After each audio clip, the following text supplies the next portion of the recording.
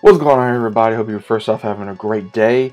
But we are going to be talking about something rather important. We're going to be talking about finally the game that I know a lot of people that as a Marvel fan wanted to play and finally I was able to play it myself. Which again, I'm very happy that I was able to uh, due to Xbox Pass. We are finally going to be talking about, of course, Marvel's Guardians of the Galaxy. Now again, I know a lot of people, including myself, you know, they wanted to you know they're like oh man this is gonna be the best game ever you know this is this is gonna be better than spider-man it's gonna be better than marvel's avengers and all this other kind of stuff. Again let me tell you guys something. Was this game i'm gonna first off say this was not as bad as good as Spider-Man. I'm just going to go ahead and get that out the way. If it was for you, okay, great.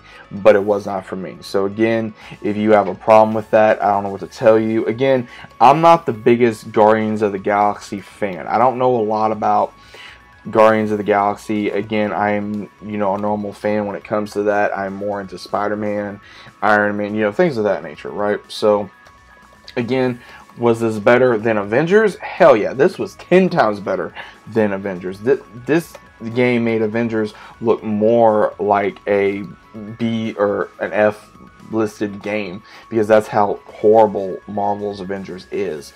But I will say I did enjoy the game. I enjoyed seeing the characters. I enjoyed playing as Star you know Star Lord, seeing more about his backstory, this version of his backstory, and how Gamora killed her sister and learned more about Drax's family, and then also you know different versions of seeing you know Star Lord, Groot, Drax, uh, Gamora, and all them, and Rocket, and just having to go up against this armada of this church that is influencing everybody, trying to make sure everyone is kind of indoctrinated into this thing called the promise to where if you accept it then you know you whatever you're wanting will still be there. And it kind of kind of makes me go like hmm you know what exactly are they trying to do here in the game? And then it's shown that hey you know they are using all them just to take over the universe to where everyone's indoctrinated to where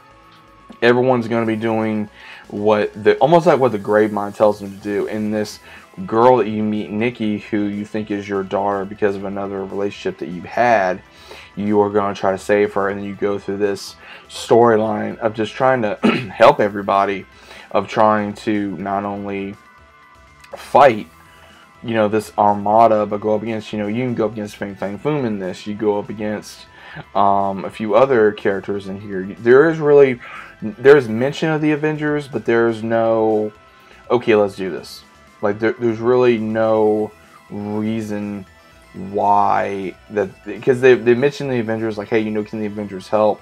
And then it's like mm, maybe but they don't confirm that there will be. And then what's really interesting is you would think like oh hey let's get the Guardians and then they don't. Because they're like well we gotta fix this ourselves. We gotta do this. We gotta do that and it kind of just makes me go like what the hell? Like why, why are they doing this? But again it makes sense because i think it's a great way to let the guardians do things on their own. Now again the the combat was good to a certain degree. I was i was very happy that you could use different means to be able to control your characters.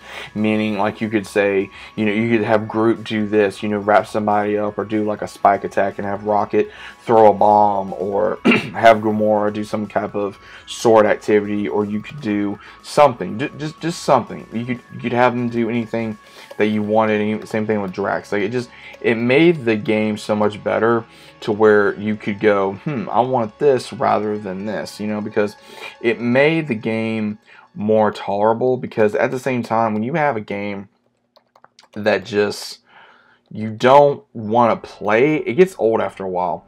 And the reason why I say it gets old after a while is because after a certain amount of time, you're just like, no, nah, I don't want to do this no more. Or, oh, no, I don't want to do this no more. Or, no, nah, I don't want to do this. Or, no, nah, I don't want to do that. It just gets really boring when you have to do the same thing over and over and over again in a game.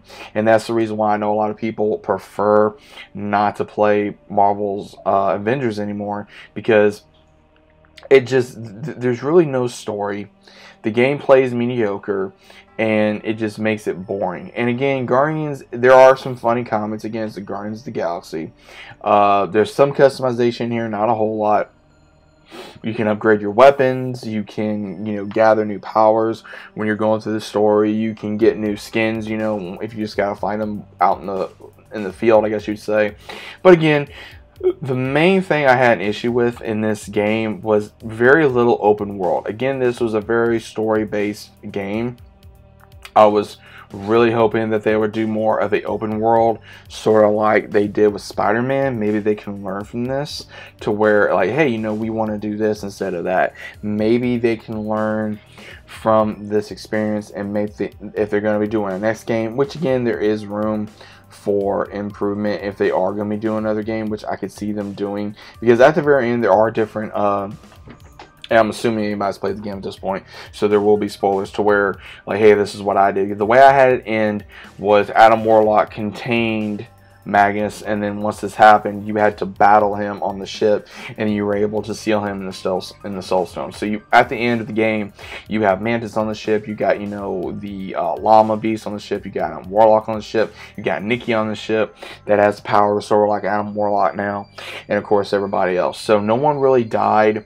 Um, there was a lot of different, you know, choices. Again, I like the choices. I like that that they gave it the Mass Effect appeal, and the reason why I say the Mass Effect appeal is because Mass Effect is one of my favorite games. But also, where if you make a choice and it's going to affect your other choices like you know hey like this person remembered or, or this character came back to help. Like for example you know nova corps they came back to help during the big fight you had you know with lady hellbender. So again there was a lot of different uh, i would i would assume things that would happen where you couldn't do this or you couldn't do that. So i think that it would affect the game but again at the same time i think it was rather interesting that certain characters would be able to keep going or would not be able to keep going. So I may have to look to see what other things possibly happen to where you could not do this and what would happen if this character did this or this character did that. I don't know.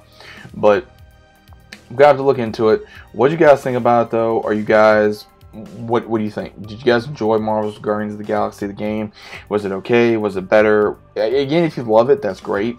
If you hate it, that's that's your choice. Uh, again, if it's better than you know Marvel Spider-Man, then okay, great. If it's not, then okay, great. If it's better than Marvel's Avengers, okay, great. You know, we got more Marvel games coming. We got another Spider-Man game coming. We got Wolverine coming.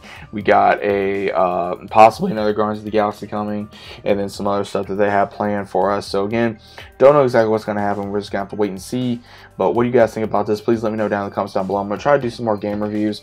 Uh, I've been between so busy with work and everything else that's going on. So whenever you see this, please leave a like, subscribe to the channel if you guys are new. Helps the video out, helps get this video out there. But what are your thoughts? Let me know, and I'll see you on the next one.